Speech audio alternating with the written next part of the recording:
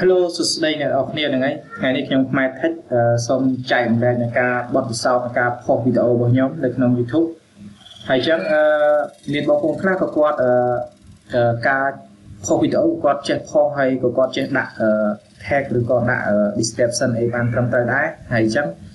វីដេអូនេះខ្ញុំគ្រាន់តែចង់ចែករំលែកទៅដល់អ្នកគាត់អត់សូវយល់ឬក៏អ្នកថ្មីថ្មីដែលគាត់ទំចាប់ដើមការផុសវីដេអូនៅក្នុង YouTube អីចឹងណាអញ្ចឹងខ្ញុំនេះជាបទពិសោធន៍របស់ខ្ញុំខ្ញុំចង់ចែករំលែកទៅដល់អ្នកទាំងអស់គ្នាមិត្តភ័ក្តិទាំងអស់គ្នានៅក្នុង YouTube អូខេអញ្ចឹងអឺមុននឹងការចាប់ដើមទៅដល់ការបង្ហាញរបស់ខ្ញុំសូមខន្តីអភ័យទោសចំពោះរៀងច្បងផងដែរហើយវីដេអូនេះខ្ញុំគ្រាន់តែចង់ចែករំលែកអ្នកទៅដល់អ្នកដែលគាត់អត់សូវចេះផុសវីដេអូហើយអ្នកអត់គាត់អត់សូវយល់ហើយគាត់ដឹងអំពីការផុសវីដេអូអញ្ចឹងណានិយាយជាបទពិសោធន៍របស់ខ្ញុំ តែខ្ញុំធ្វើទៅវាទទួលបានល្អសម្រាប់ការយើងផុសវីដេអូអូខេឥឡូវចូលទៅដល់ screen computer របស់យើងខ្ញុំខ្ញុំធ្វើបង្ហាញដោយសារតែខ្ញុំធ្វើបង្ហាញនៅក្នុង computer ខ្ញុំអត់បានធ្វើបង្ហាញនៅក្នុងទូរស័ព្ទដៃទេព្រោះអឺទូរស័ព្ទដៃខ្ញុំពិបាកធ្វើធ្វើបង្ហាញអញ្ចឹងខ្ញុំធ្វើ computer អូខេឥឡូវចូលទៅទាំងអស់គ្នាអ្នកនរគ្នាចូលទៅ browser មួយណាក៏បានដែរជ្រុងមិនថាជ្រុងមិនថា Firefox ទេភាគច្រើនខ្ញុំប្រើ Firefox អូខេចូលមកមានលក្ខណៈបែបនេះ អញ្ចឹងអឺអ្វីដែលយើងត្រូវធ្វើគឺយើងផុសនេះយើងផុសយើងចុច create កន្លែងសញ្ញាកាមេរ៉ានេះមកវាចុចវាដាក់ពីថា upload វីដេអូហើយអូខេអញ្ចឹងខ្ញុំអត់មានវីដេអូបង្ហាញនឹងការផុសទេខ្ញុំស្គាល់ថាអឺខ្ញុំអធិប្បាយមួយមួយអំពីការខ្ញុំដាក់អ្វីដែលខ្ញុំផុសនេះ OK ឥឡូវចូលទៅ profile វីដេអូរបស់ខ្ញុំទៅចូលកន្លែង your channel នេះទៅ ចូលកន្លែង YouTube Studio មកបន្ទាប់មកបញ្ចូលទៅដល់កន្លែងវីដេអូរបស់យើង OK ចុចកន្លែងវីដេអូទៅអឺនេះជាវីដេអូខ្ញុំដែលបានផុសរួចហើយ OK ឥឡូវអ្នកទាំងអស់គ្នាមកចូលមកមកមើល edit edit កន្លែង edit វីដេអូរបស់ខ្ញុំនេះ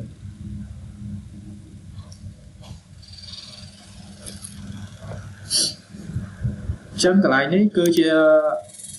title ហើយកន្លែងនេះជា description អញ្ចឹង description នេះវាមានសារៈសំខាន់ដែរយើងអាចដាក់ចំណងជើង title វីដេអូរបស់យើងគឺជាចំណងជើងហ្នឹងហើយនឹង link វីដេអូរបស់យើងដទៃទៀតអាចដាក់នៅក្នុង description នេះបានអានេះជាវិធីមួយដែលជួយឲ្យវីដេអូយើង rank ឧបមាថាវីដេអូយើងមួយនេះវីដេអូ game នេះអញ្ចឹងវា rank កាលណាគេ click នៅលើវីដេអូហ្នឹងអញ្ចឹងវីដេអូយើងដទៃទៀតនឹងលោតឲ្យគេឃើញដែរ OK អាហ្នឹងដោយសារថា channel YouTube យើងធ្វើបែបនេះដើម្បីជួយ rank នៅវីដេអូរបស់យើង OK នេះជាវិធីខ្ញុំធ្វើខ្ញុំធ្វើទៅវាមានលក្ខណៈអឺទទួលបានល្អសម្រាប់ដាក់អឺចំណងជើងវីដេអូយើងនៅក្នុង description ហើយនឹងនៅនៅក្នុង link នៅក្នុង description អូខេអញ្ចឹងយើងដាក់អញ្ចឹងមកហើយយើងអាចពណ៌នាពីវីដេអូយើងបានបន្តិចមកបន្ទាប់មកយើងដាក់ link វីដេអូរបស់យើងហើយនឹង ចំណងជើងវីដេអូរបស់យើងអូខេហើយបន្ទាប់មកទៀតអឺ add screen add screen នេះគឺវាជួយយើងដែរយើងអាច add វីដេអូយើងចូលទុកថាវីដេអូយើងមិនមានអ្នកមើលដល់ចប់ប៉ុន្តែវាអាចជួយនៅ rank វីដេអូរបស់យើងដែរអាហ្នឹងជានៃការដាក់ end screen ក៏វាមានសារៈសំខាន់ដែរអាហ្នឹងយើងអាច ខុសឲ្យត្រូវនឹងស្តង់ដារវីដេអូស្តង់ដាររបស់ YouTube គេឲ្យដាក់ចឹងអូខេបន្ទាប់មកអ្នកអរគ្នាអាចដាក់ add add card ចូល add card ហ្នឹងគឺជាជួយនៅវីដេអូរបស់យើងដែរយើងអាច add បាន5នៅក្នុងហ្នឹងគេឲ្យអនុញ្ញាតឲ្យយើង add បាន5អូខេនេះយើងអាច add ប៉ុន្តែខ្ញុំ add តែ3ទេតែយើងអាចដាក់ឲ្យច្រើនដើម្បីអានោះជួយឲ្យ rank វីដេអូរបស់យើងដែរអូខេអ្នកទាំងអស់គ្នាត្រូវតែដាក់ ហើយចំណុចមួយទៀតគឺអឺគេហៅថា tag tag ហ្នឹងវាអាចឲ្យលោតចេញអក្សរពណ៌ខៀវលោតចេញនៅក្នុងបន្ទាត់វីដេអូដែលគេកំពុងចុចមើលហ្នឹងលោតនៅខាងលើអូខេតិចទៀតខ្ញុំធ្វើបង្ហាញ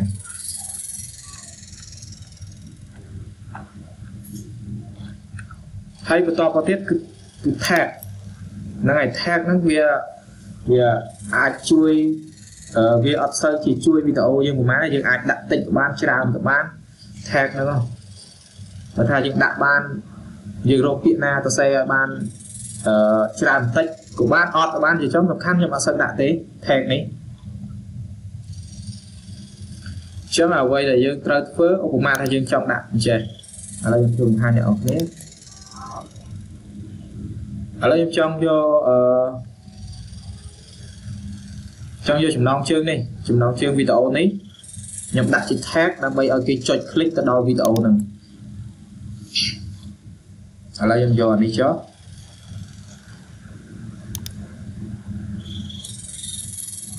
ដោយសារតែអសរទូចទូចពេកអសរខ្មែរបន្ទាប់មកខ្ញុំយកខ្ញុំយកចំណងជើងវីដេអូ នេះមកដាក់វីដេអូនេះដើម្បីដាក់ជា tag ដើម្បីឲ្យគេចុច click មកដល់វីដេអូទៀតអូខេអញ្ចឹងអ្នកនរគ្នាគ្រាន់តែគាត់ដាក់ត្រង់ជ្រូកមួយមកបន្ទាប់មកអ្នកទាំងអស់គ្នាអាចទៅសេក៏បានឬក៏ផាសក៏បានដែរអូខេអញ្ចឹងអ្នកនរគ្នាដកឃ្លាតែដកឃ្លាវាឲ្យទេអញ្ចឹងយើងកុំដកឃ្លាអូខេវីដេអូនេះរៀងយូរបន្តិចតែសង្ឃឹមថាអ្នកនរគ្នានឹងអាចធ្វើ បានអូខេអញ្ចឹងយើងកុំដកឃ្លាកន្លែងនេះយើងអាចដាក់ទ្រុងជ្រូកមួយទៀតបានដែរឥឡូវខ្ញុំដាក់ទ្រុងជ្រូកមួយទៀតបន្តមកខ្ញុំអត់ដកឃ្លាទេតែដកឃ្លាវាឲ្យទេ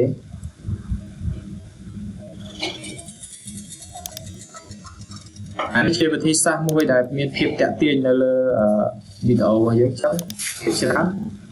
គេឃើញអ្វីដែលចំណងជើងដែលប្លែកទៅលើ text គេអាចចុចនៅលើវីដេអូរបស់យើងដែរអូខេឥឡូវខ្ញុំសូម save វា ឥឡូវខ្ញុំ save ហើយបន្ទាប់មកយើងទៅមើលវីដេអូរបស់អ្នកតើវាចេញ tag ទៅលើអត់តែ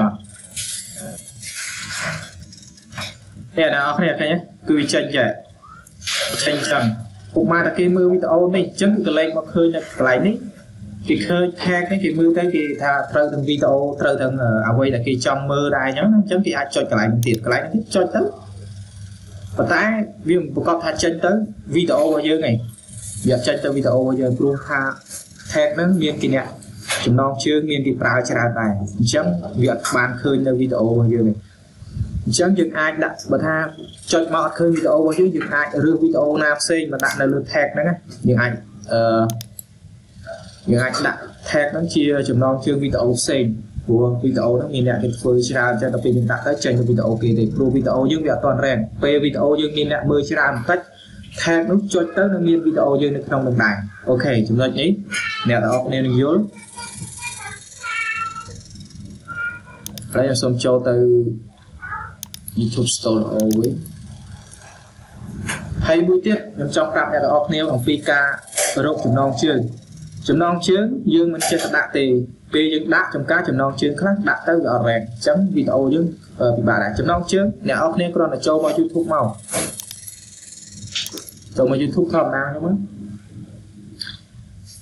អានេះខ្ញុំប្រាប់ត្រួសត្រាសហើយអ្នកនរគ្នានឹងអាចយល់នឹងអាចធ្វើបានអស់គ្នានេះជាបទពិសោធន៍របស់ខ្ញុំទេខ្ញុំដកពិសោធន៍ទៅឃើញថាវាល្អអញ្ចឹងទៅខ្ញុំក៏ចែករំលែកអ្នកនរគ្នាអ្វីដែលខ្ញុំចេះខ្ញុំនឹងធ្វើបង្ហាញអ្នកនរគ្នាឧបមាថាចំណងជើងយើងមករកក្នុង YouTube មកយើងអាចរកមកគេថា how ខ្ញុំសរសេរជាអង់គ្លេសតែនឹងសរសេរជាអង់គ្លេសគេថា how to reset អីចឹងទៅ reset អឺ sorry reset iPhone អីចឹងទៅណែ reset iPhone អញ្ចឹងចំណងជើងនេះគឺមានអ្នកគេធ្វើច្រើនមែនតើអូខេអញ្ចឹងមានអ្នកគេធ្វើលក្ខណៈ4ឆ្នាំណែ4ឆ្នាំ1ឆ្នាំអញ្ចឹងមើលអា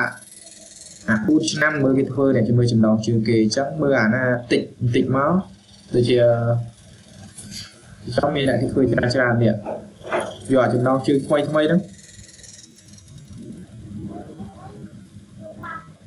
នេះឧបមាថាមួយឆ្នាំ2លានរបៀបប៉ុន្តែនេះវាអត់ត្រូវនឹងវីដេអូរបស់យើងព្រោះយើងរកវីដេអូដែលរបៀបពិសិដ្ឋអញ្ចឹងយើងរកចំណងជើងពីរបៀបពិសិដ្ឋអូខេដល់នេះអីយើងអាចយកបាននេះ 4ឆ្នាំហ្នឹងប៉ុន្តែយើងអាចកែវាទៅដាក់ឲ្យស្តៀងគេអញ្ចឹងហើយយើងដាក់ new វាអញ្ចឹងទៅអូមកចុច click វាមកឥឡូវយើងនេះមកយើង copy មក copy ចំណងជើងហ្នឹងមកបន្ទាប់មកអ្នកនរគ្នាអាច edit ឬក៏សរសេរ edit អានេះដោយសារតែខ្ញុំអត់មានវីដេអូខុសដើម្បីបង្ហាញដល់អ្នកអញ្ចឹងយើងអាចយកចំណងជើងនឹងមកមកដាក់នៅក្នុងអឺ title របស់យើងមកចំណងជើងរបស់យើងមកឧបមាឲ្យយើងកែមកកែវាបន្តិចតួចមកកែវាដាក់ថា new ឬក៏អ្វីផ្សេងទៀតមកហើយកុំឲ្យដូចគេពេលយើងកែឲ្យមានភាពតាក់ទាញជាងគេតិចមកហ្នឹងវាវាចង់វាអាចជួយនៅវីដេអូរបស់យើងដែរអូខេអញ្ចឹងញ៉ាំនេះគ្រាន់តែថាការបង្ហាញរបស់ខ្ញុំទេហើយសូម disable ចោលវិញអញ្ចឹងអ្វីដែលខ្ញុំធ្វើបង្ហាញសង្ឃឹមថាអ្នកទាំងអស់គ្នានឹងយល់ហើយពីរបៀបនៃការដាក់ description ឬក៏ tag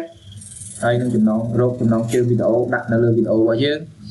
អានឹងជាវិធីសាស្ត្រមួយដែលជួយឲ្យវីដេអូយើង rank ហើយសម្រាប់គេអត់ដាក់ link ដាក់អីនៅក្នុង description ដោយសារ channel គេធំធំចឹងគេធ្វើទៅនិយាយចំគេមានអ្នកអឺគ្រប់គ្រងច្រើនហើយគេមិនចាំដាក់ចូលវីដេអូគេរៀងដែរប៉ុន្តែបើសិនតែយើងធ្វើបែបនេះគេ click វីដេអូយើងមួយវីដេអូយើងណាដែល rank អញ្ចឹងវីដេអូយើងនឹង load ឲ្យគេឃើញបន្តទៀតអូខេអាហ្នឹងវាជាចំណុចមួយដែលខ្ញុំប្រាប់ថាដាក់ អឺចំណងជើងនៅក្នុង description ហើយនឹង link អាហ្នឹងវាជួយអញ្ចឹងអូខេហើយមួយទៀតដែលដាក់ tag អាដែលគេឃើញ click អក្សរពណ៌ខៀវនៅខាងលើហ្នឹងអាហ្នឹងបើចំណងជើងវី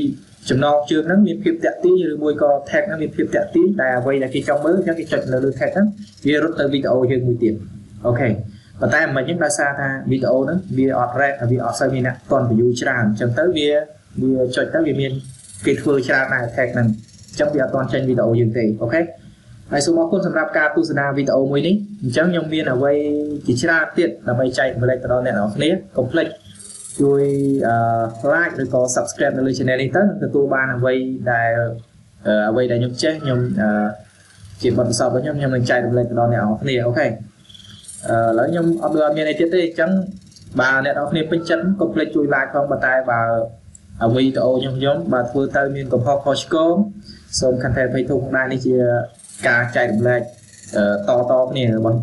សម្រាប់ខ្ញុំ OK អញ្ចឹង